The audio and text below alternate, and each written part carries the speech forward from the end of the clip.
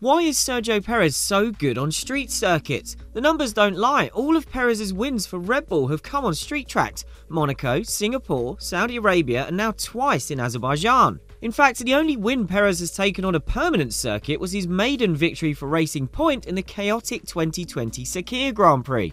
The numbers that support his street circuit prowess go further than just his win record, too.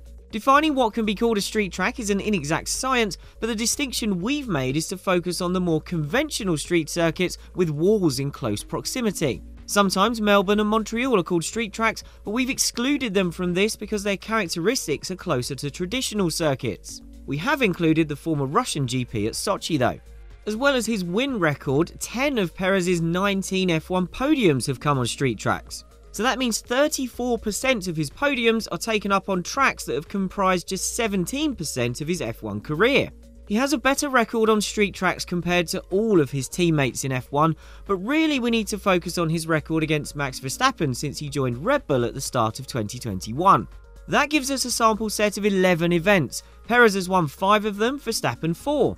In qualifying, including the Baku Sprint shootout, Perez has beaten Verstappen 7 times out of 12 in qualifying. Yet the only orthodox circuit he's ever outqualified him at was Imola in 2021. There are some caveats here. Verstappen would have likely outqualified Perez in Saudi Arabia this year, but for mechanical troubles, while he was set to demolish Perez's time in Singapore last year before aborting to the pits because he didn't have enough fuel.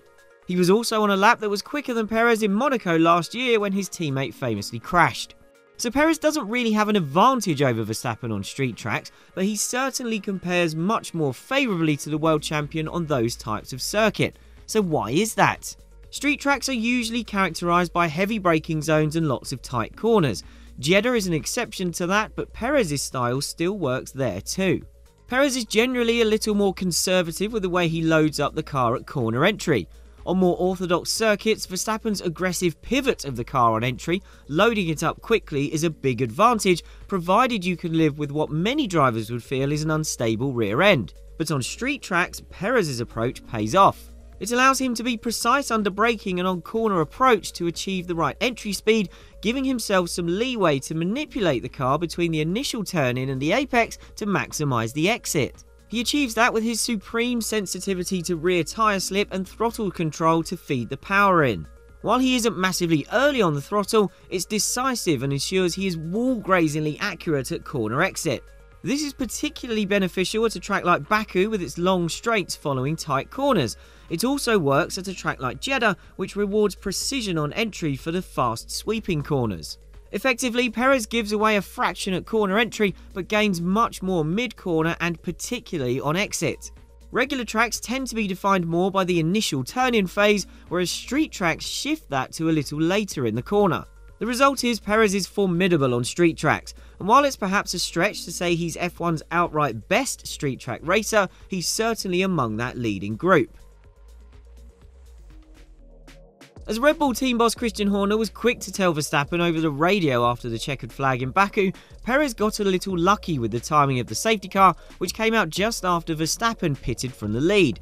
That meant Perez got the advantage of making his stop while the field was travelling slowly, allowing him and Charles Leclerc's Ferrari to rejoin ahead of Verstappen. Verstappen was philosophical afterwards. Not only did he accept that Red Bull had no way of knowing the safety car was about to be called, something we'll dig into a little more later, but when Perez mentioned Verstappen's bad luck as the top three drivers were watching highlights from the race in the cool-down room, Max immediately recalled that the same thing had happened to Perez in Jeddah last year. But sometimes you make your own luck, and this was the case for Perez in Baku.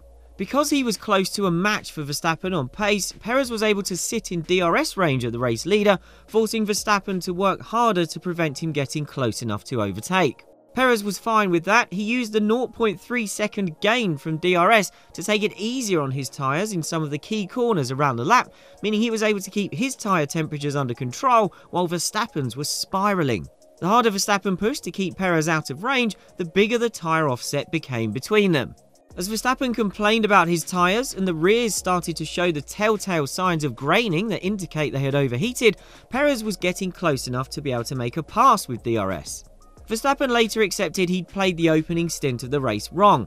Rather than taking it easy on the couple of laps between him passing pole sitter Leclerc and Perez getting through, Verstappen felt he should have pushed on to build a bigger gap.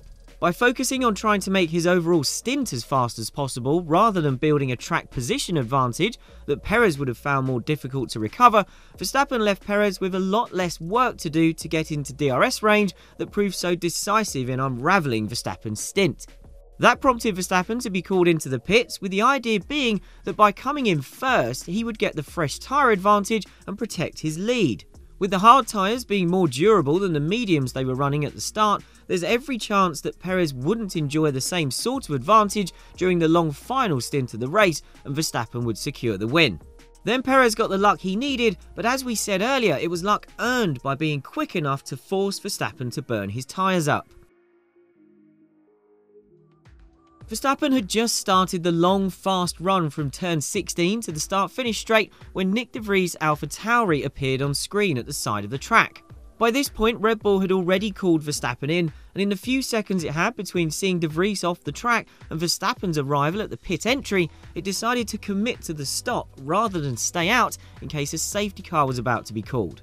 Christian Horner explained Red Bull's logic after the race, the team noted that De Vries hadn't hit the wall in front of where he'd stopped and his engine was still running, so the assumption was he would reverse back onto the track and rejoin. What Red Bull hadn't spotted was that De Vries' left front wheel was pointing off to the left while his right front wheel was straight, so there was a sign of damage that went unspotted in the short amount of time Red Bull had to make its decision.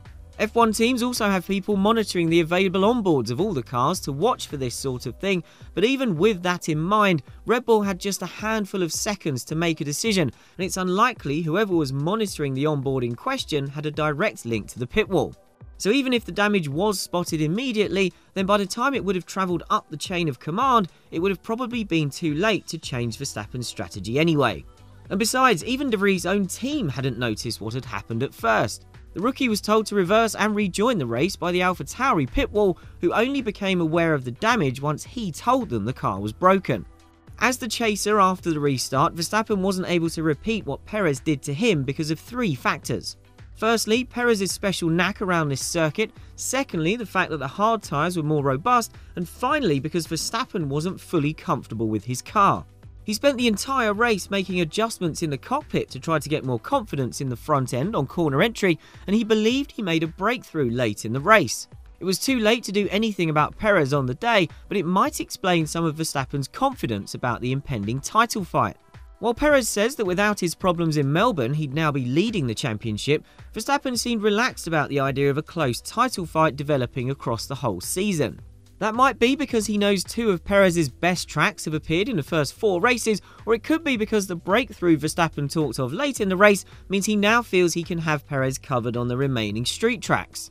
Verstappen said the key to the season will be consistency, and you could interpret that as a suggestion that on more conventional tracks, he'll be more capable of achieving that consistency than Perez. And as Horner pointed out, while Perez has excelled on street tracks for Red Bull, he needs to start doing it on the proper tracks as well. There's an eight race run between Monaco at the end of May and Singapore in mid September. Perez's performances on those tracks will be what determines if we really are going to have a title fight in 2023.